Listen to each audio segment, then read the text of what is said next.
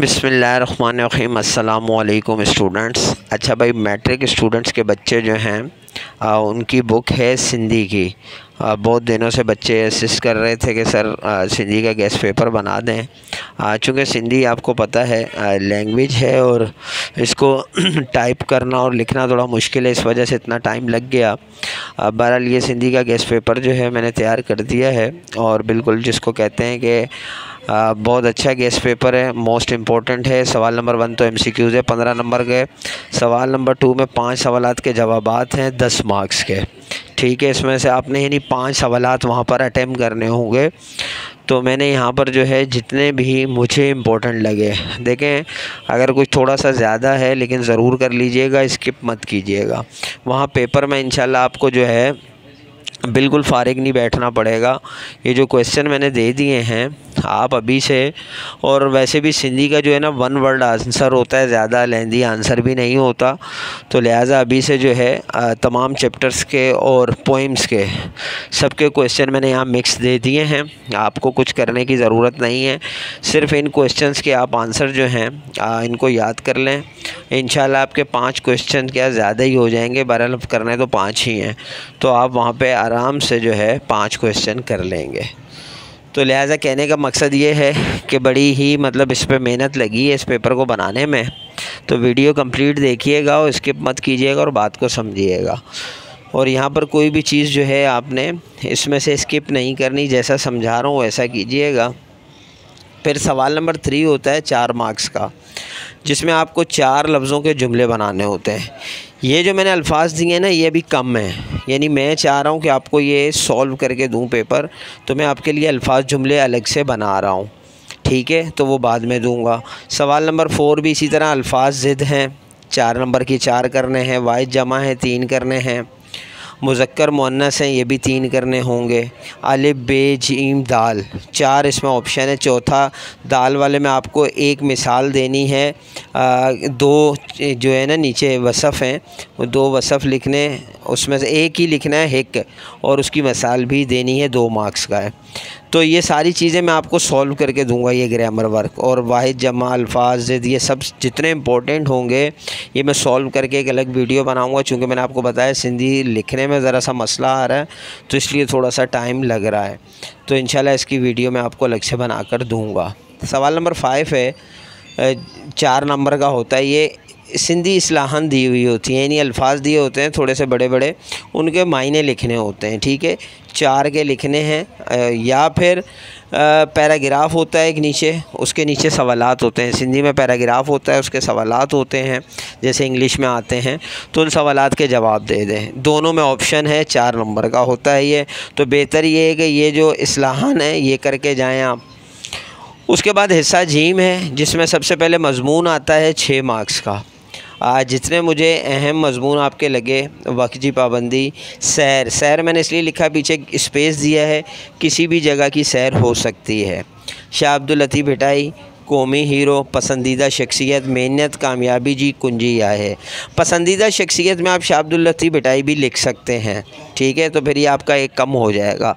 तो बहरहाल जो मुझे इंपॉर्टेंट लगे, वो मैंने यहाँ लिख दिए। उसके बाद क्वेश्चन नंबर सेवन है, दरख्वास्त। ये भी छः मार्क्स की होती है।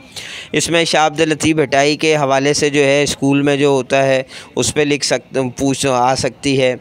या सिंध की सकाफ़त, या दिन मना, सिंध की सकाफ़त का दिन मनाने, या कोई भी आलमी दिन मनाने पर आ सकती है। फ़ीस माफ़ी की आ सकती है, पिकनिक पर जाने के लिए आ सकती है, और स्कूल में किसी भी काम के लिए, सैलाब के लिए, या और कोई मुसीबत है, उसके लिए चंदा जमा करने की आ सकती है। अच्छा इनमें ऑप्शन होता है एप्लीकेशन में और ख़त में। अब ख़त जो है, इम्तहान में कामयाबी की मुबारकबाद देने पे आ सकती है ख़त आ सकता है।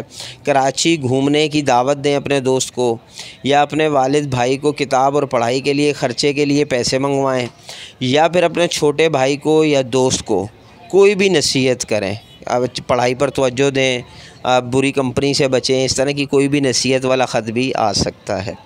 सवाल नंबर आठ में भी इस तरह होता है, या तो दो शेर की तशरी करनी होती है, या फिर एक बंद की तशरी करनी होती है।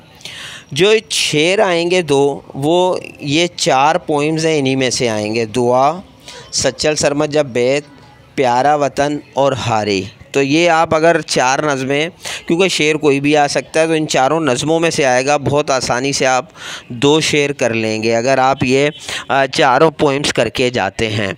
नहीं तो आपके पास ऑप्शन बंद का भी है। बंद में मैंने यहाँ पे छः बंद दिए हुए हैं। ये छः बंद के सबका पहला मिसरा है। पूरा बंद मैंने नहीं लिखे। यानी वन वाला जो है, हयाती जो मकसद, सच्चो तो बुधाई, इसका पूरा बंद नीचे अलग से है। ये पहला मिसरा है, फिर दूसरा मिसरा। ये छः बंद हैं और छः बंद के पहले पहले मिसरे मैंने लिख दिए हैं। ये छः अगर आप बंद कर लेते हैं तो आप आसानी से एक बंद इसी में से इन आएगा। आप उसकी भी तैयारी मतलब कर सकते हैं। फिर सवाल नंबर नाइन है पाँच नंबर का खुलासा। ठीक है? इसमें माई खैरी, हुनर दौलत है अजरक, नसरपुर, हज़रत सलमान फ़ारसी और मीरंज दरबार। अब ये मैंने इसी वजह से दो दो फालतू दिए हैं कि आप इसकी तैयारी करें तो फिर ऐसा ना हो कि आप आके कहें कि, सर, आपका गैस नहीं लगा। तो इसलिए मैंने थोड़ा सा ये सिंधी, क्योंकि इसी तरह का होता है और सिंधी जो है, इसकी अच्छी तैयारी करनी होती है। लिहाजा मैंने ये बहुत सोच समझ कर चीज़ें दी हैं। आपने इसमें से कुछ स्किप नहीं करना। फिर क्वेश्चन नंबर नाइन कई बे में मरकज़ी ख्याल होता है चार नंबर का। बटाइन सज्जों को संसार, नेकी, हारी, सच्चल सरमत और वाय और जीम में एक पैराग्राफ होता है जिसका उर्दू में तर्जमा करना होता है तीन मार्क्स का। तो ये आपके टोटल सेवेंटी फाइव मार्क्स बनते हैं। तो ये अब जो है सिंधी के हवाले से अब मैं बता दूँ आपको कि ये तमाम चीज़ें अब जो मैंने आपसे ये कहा है ना कि आपके जो ग्रामर वर्क है वायद जमा अल्फाज मुजक्र मुन्नस अल्फाज जुमले असलाहन के जुमले, ये सब आप इसमें जो है परेशान मत होइएगा।